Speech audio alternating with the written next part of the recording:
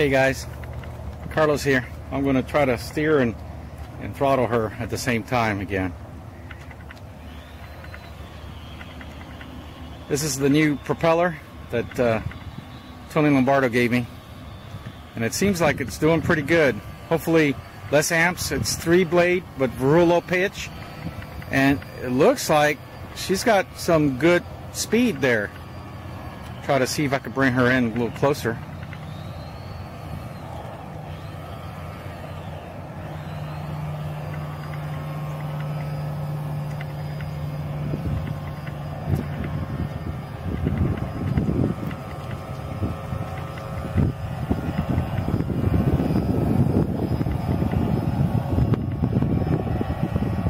As long as she keeps the, the uh, current down on that motor, that's all I care. There she goes, a little faster.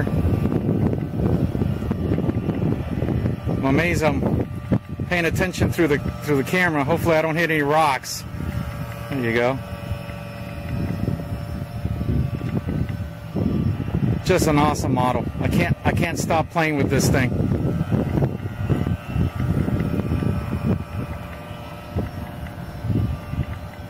She turns like on a time.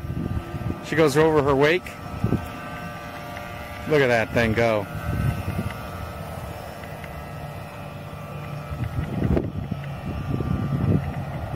Well, that's good. I'm happy.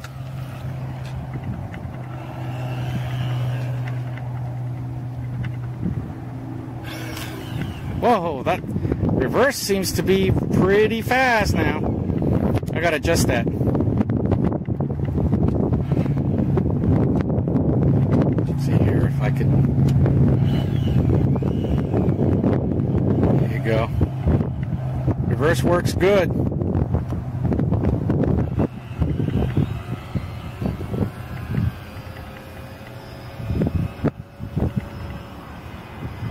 See if I could bring her in much better there. Nice and slow.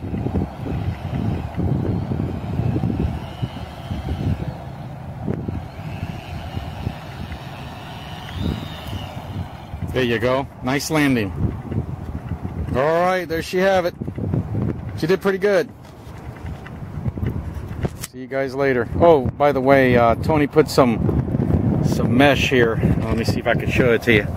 It's a scale mesh, uh, some netting on that uh, on the riser there, pole riser. Uh, she looked good, and he uh, he kind of glued back a couple of places where I kind of like put my big fat thumbs on. I'll see you guys later.